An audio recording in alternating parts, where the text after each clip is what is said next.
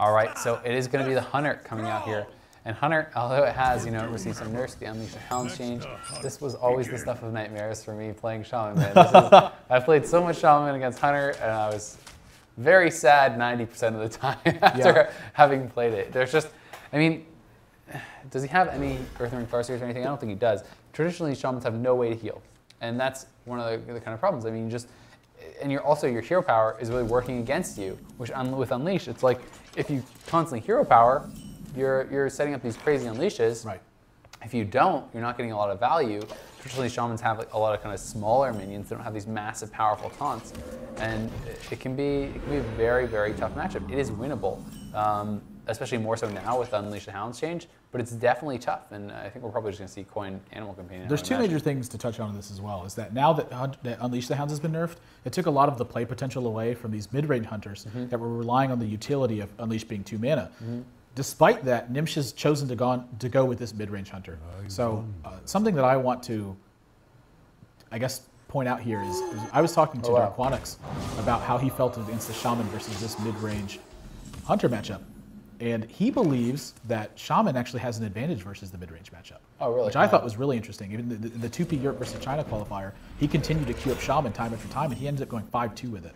so wow. uh, he played against Hunter a lot, and, and it was putting a lot of pressure on. This Ironbeak Owl on the healing totem, That seems really strange to me, as opposed to just a steady shot or his Animal Companion early. I mean, if he had gotten a Huffer last turn, that's already eight damage that he has done this turn. Right. so one, one of the things That's he wants weird. when he does this, what he's looking at is that the fact that again this mid-range deck is seeded in needing cards like um, Houndmaster to get a lot of value out of them Mm-hmm. and push forward through the game. So now at this point, Kitkatz has two minions on the board he needs to deal with. Yeah. So no matter what going into Gnimsh's turn four, he's going to get value out of this Houndmaster if he wants, Yeah. or he can keep his options open. Because this isn't so much of a damage race as it is uh, just sort of a, a consistent pressure build. Oh, and there's the Houndmaster. Speak of the devil, but I think an even better play is because your opponent just hexes frog, is I actually like Tundra Rhino here. Yeah, it seems like a very strong play. Um, you're both both pretty legitimate. Looks like he is going to be. Oh, wait, I forgot that frog was a beast. Ignore Yeah. what I said. Yeah. So that is, this is actually a pretty terrible position now if you're Kitkatz. If you don't roll high on this lightning storm, you're going to find yourself in a pretty brutal position. well, you can really totem fast. first and and and, uh, and pray pray to the Lord. That do Earth Shock. I think, is going to change this game a lot because So now he's going to you just- this this uh, frog, Okay. or ignore what I said. I thought he was going to Earth Shock into Chillwind Yeti. He's hoping he rolls high on this totem. So wow, he rolls high on one of them. That's big. Earth Shock's going to clean up the board now. He doesn't have access to Fire Elemental next turn, but he does have access to Hex and he does have access to Chillwind Yeti. So I imagine Gnimsh feels really safe behind this Tundra Rhino because this Savannah Highmane, we've already seen a Hex and an Earth Shock come out now. Mm-hmm. I think he believes that this Savannah Highmane is going to put a lot of pressure on him, and it is going to. But it, this is showing you what this mid-range deck is based off of. It's- The hero power is something that's inconsequential almost, because so many times you find yourself just wanting to develop your board, and that's exactly what we're seeing here. This Savannah Highmane is going to be devastating against Kitkatz because he has a Hex, but we're already using four points of health off of this Savannah Highmane. It's already done the job at this point. So now it's Yep. killing a Yeti and it's pulling a card out of your hand. And now you don't really have an answer for the next Savannah Highmane if it finds itself to the board. Yeah, definitely pretty brutal. And Deadly Shot's still sitting in hand, Kill Command's still sitting in hand. A lot of ways to deal with this. I mean, you drop the Fire Rally, Fire Rally's just going to get Kill Commanded. Um, I mean, there's no really great way to deal with this, and it looks like he just wants to go Yeti. Um, okay, so he's, he's going to Hex up and go for the Yeti. But at the same time, this can just get Kill Commanded or Deadly Shot. There's, This you is a brutal position to be in too because this frog is pulling a ton of weight right now Yeah. because this Yeti's next attack has to be directed at this frog or he has to use a card for it. Yep. So the Savannah Highmane's already done its job. It's killed a Yeti. Now it's done a second job. It's pulled a Hex. Now this Hex is going to be doing so much work protecting all of his small minions from this.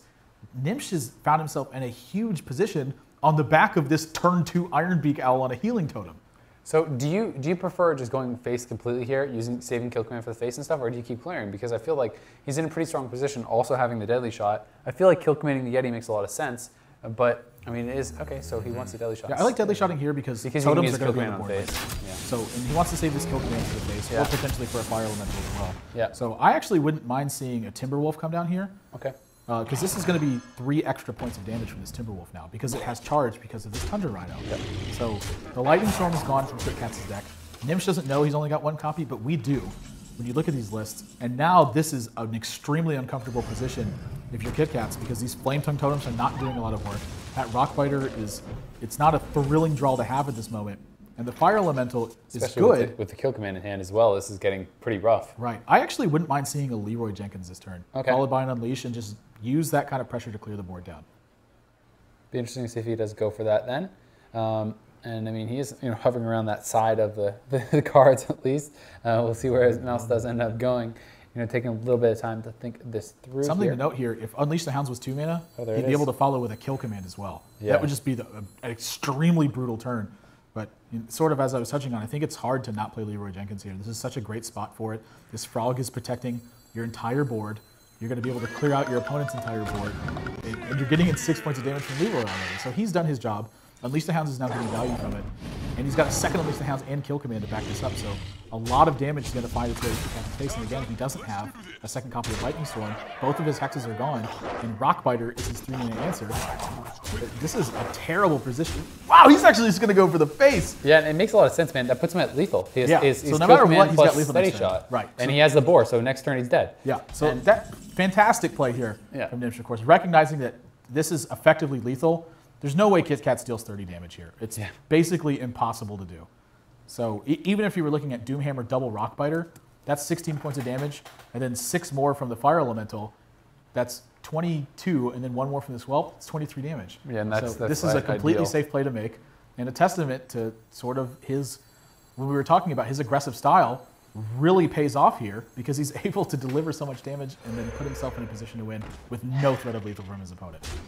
Yeah, and I mean, uh, this is, it's brutal. It's he is going to obviously taunt up, and he, he doesn't know that he's dead just yet. But um, obviously, kill command and- steady shot just going to ignore that, and he can't clear all the beasts. And even if he could, there's still another beast to uh, to finish him off. So. Either way, this is going to be uh, this game going here to Gnimsh. It's going to be tied up, but a rough, uh, rough situation there for him. And you know, we talked about it. It's the hero power kind of works against you. You know, that Stoneclaw Totem giving him an extra one. Uh, the four, four Hound Unleash going to secure it. Here comes the kill command, and that is going to be that. As that is the game, man. So 1-1, and now the Shaman deck is gone. The Hunter is out as Kitkatz. Uh, do you go Rogue here, or do you go back to the Warrior? I think here, Warrior is built well enough to be able to fight against this Hunter deck Okay. because he's anticipated Hunter coming into it. So I have a lot of insight into his deck building because at the time that he designed this particular Warrior deck, I was still his teammate. So we still playtest together a little bit, but